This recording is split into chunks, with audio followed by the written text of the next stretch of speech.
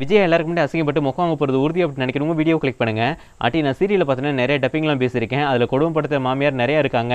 அப்படி இருக்கும்போது ரியல் லைஃப்லையும் அதே மாதிரி தான் நீங்களும் இருக்கீங்க. அச்சு பிசுறாம ஏன் ஆண்டி கொஞ்சமாச்சும் திருந்துங்க? மீனா பார்த்தோன்னா இல்லாத வீட்டிலேருந்து வந்திருக்காங்க.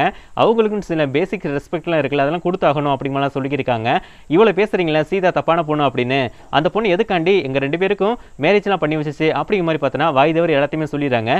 என்னம்மா சொல்லிக்கிருக்க நீ? மீனா தானே உங்களுக்கு மேரேஜ் பண்ணி வச்சது அப்படிங்கிற மாதிரி கேட்கும் அதெல்லாம் இல்லை அன்கல் என்னையும் ரவியும் சேர்த்து வைக்கிறக்காண்டி என் வீட்டில் வந்து பெரிய ரிஸ்க் எடுத்தா அந்த சீதா அப்படி மாதிரி சொல்லிடுறாங்க.